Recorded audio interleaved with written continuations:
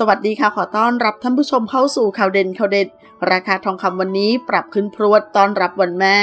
สำหรับราคาทองคำช่วงนี้ผันผลหนัก มีการปรับขึ้นลงรายวันกันเลยทีเดียวทำเอานักลงทุนต่างลังเล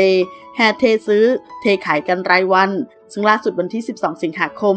ราคาทองคำประจำวันนี้ขยับขึ้น 100 บาท เมื่อเทียบกับราคาสุดท้ายเมื่อวันนี้ โดยทองรูปพรรณขายออกที่ราคาบาทละ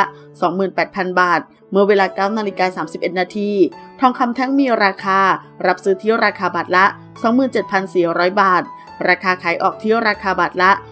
27,500 บาท ตามประกาศครั้งล่าสุด ด้านราคาทองรูปพรรณรับซื้อที่ราคาบาทละ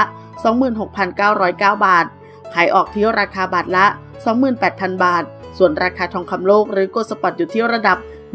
1,750.50 เหรียญสหรัฐต่อออนซ์ ขอขอบคุณข้อมูลจากสยามสตรีท ขอบคุณค่ะ